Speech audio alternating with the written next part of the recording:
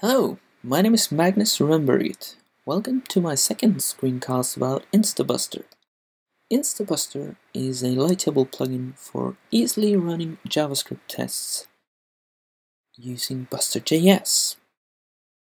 In this screencast, I thought I'd run you through some of the newest features, which is a dashboard, a simple auto test feature, and some snippets to save you some typing along the way. Alright, so let's get started. First thing you need, if you remember from the last screencast, is a Buster configuration file. I've created a small snippet for that. So you just give it a name, and if you're happy with the defaults, you can just complete the snippet by pressing enter. However, I need a small addition for my assertions. So, I'll just go ahead and add that. Voila, we're good to go. Okay, let's write a test. There's a small template for that as well. And math test we'll write simple function, simple tests, two numbers,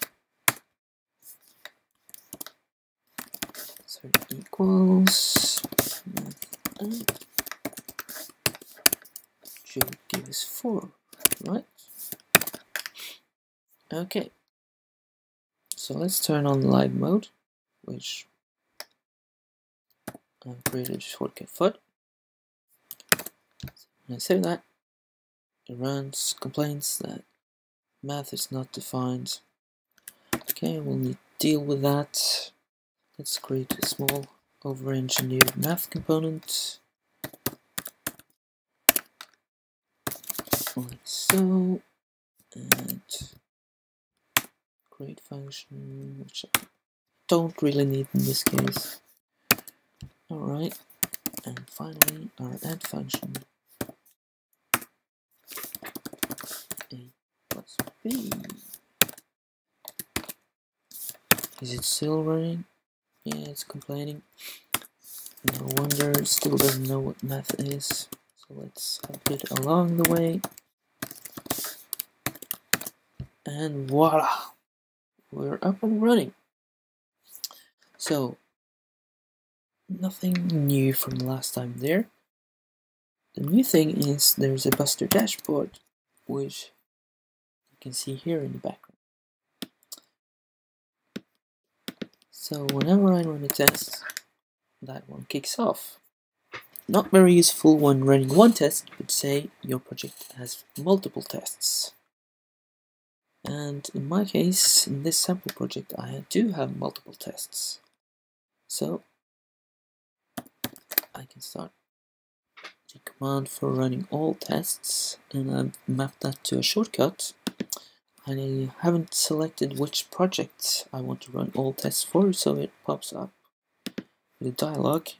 And you see here on the right hand corner the project settings that I've selected the Buster uh, Instabuster extended project. So if I now run all the tests, you will see that it ran the test with a progress bar. Right, okay, and the final thing that I thought I'd show you is the auto test feature.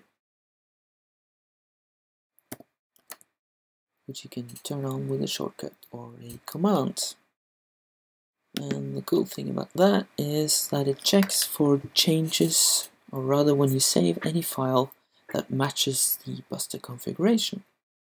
So if I save this file, it will actually run all the tests.